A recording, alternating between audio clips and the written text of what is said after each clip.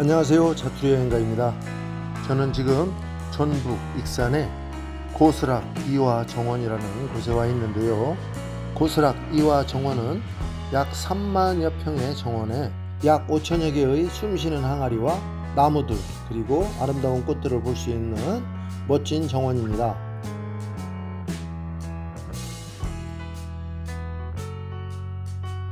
고스락 정원 안에는 이렇게 작고 아담한 연못도 조성되어 있습니다.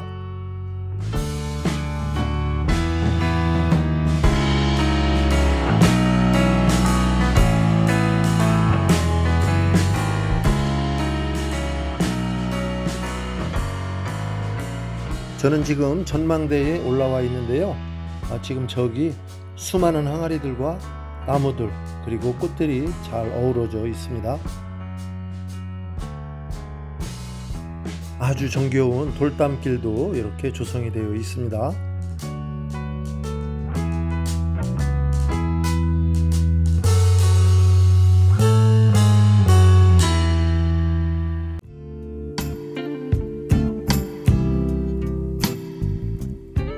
이곳은 항아리들을 아주 멋진 작품으로 만들어 놓은 곳입니다.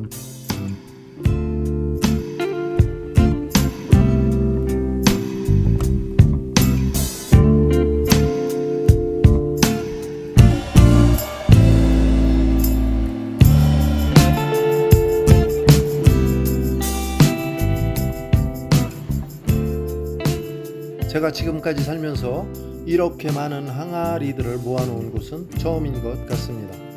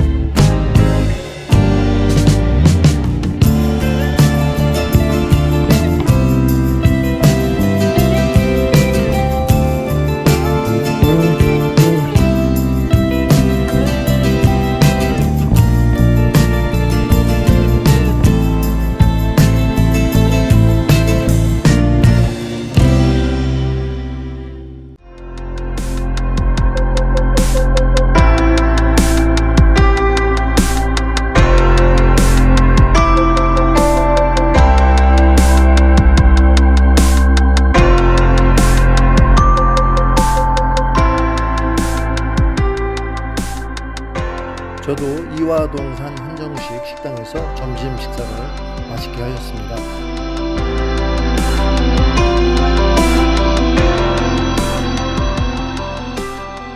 고스락 이화동산 정원 어떠셨나요?